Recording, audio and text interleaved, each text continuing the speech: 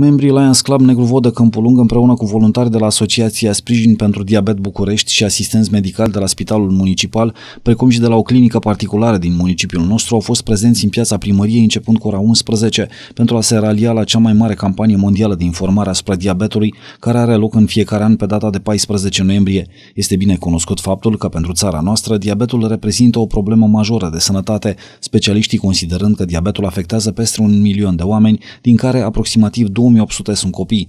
Este una dintre cele mai răspândite afecțiuni cronice metabolice și una din bolile care produc cele mai multe decese anual ca urmare a efectelor bolii.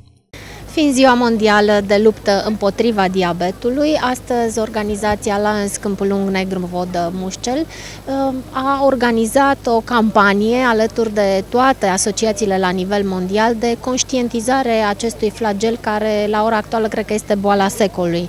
În România cifrele sunt uh, absolut îngrijorătoare, peste un milion și ceva de oameni sunt deja uh, depistați cu diabet, dintre care peste 2800 de copii, ceea ce este într-adevăr îngrijorător. Astăzi, acțiunea noastră constă în testarea gratuită a glicemiei și de aici fiecare poate să meargă mai departe, să fie în funcție de valorile glicemice depistate, să meargă mai departe la medic, să aibă grijă puțin în alimentație, să facă mai mult sport. Important este această, în această campanie de prevenție, lumea să știe, să, aibă, să fie informată, să știe de unde pornește.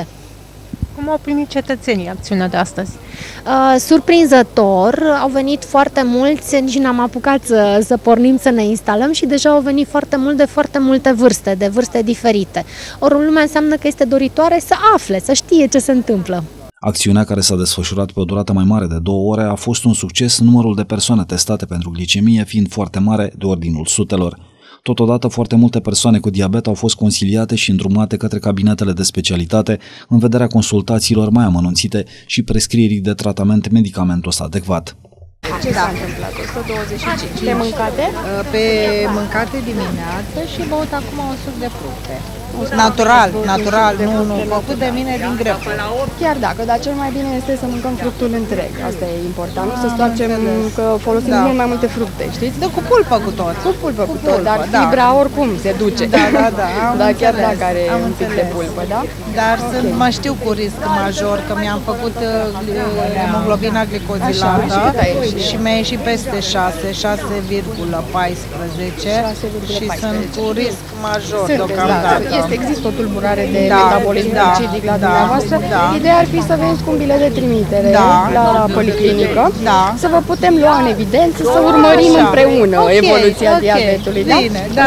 Cetățenii au salutat inițiativa organizatorilor și afirmă că astfel de acțiuni ar trebui organizate mai des, dat fiind faptul că uneori multe persoane ignoră simptome sau probleme de sănătate care ar putea ascunde afecțiuni grave, cum ar fi cea a diabetului zaharat. Nu am avut ocazie să eu până acum și fiindcă... Aveți probleme cu diabetul? Nu, nu. Eram... Dar uh, sfaturile specialiștilor vă ajută? Da, da, da. Cum vi se pare acțiunea celor de la Clubul Lions? Nu știu de la ce club. E, văd că este bună. Păcat că n-am știut că este, că nu mâncam de dimineața, dar oricum trebuia să mâncăm, că luăm tratament. Nu, și e ceva plăcut. Ne, ne mai luăm... Bine, să mai Știm și... cam cum stăm, dar e bine și aici. Când treacă, te... Da, e bine că... ne și bine. Să mai faci la noi de ceva bun, să zicem așa, prin toate răutățile. Da, mai rar, bine mai rar chestiile da, astea. E un oraș mai mic, dar e bineveniți, oricum. Prin acțiunea de astăzi, organizația Lions Club Negru Vodă Câmpul Lung a demonstrat încă o dată prin voluntarii săi că se află alături de cetățeni și că doresc să fie aproape de nevoile comunității, participând activ la viața socială a urbei în vederea dezvoltării spiritului civic și valorilor morale.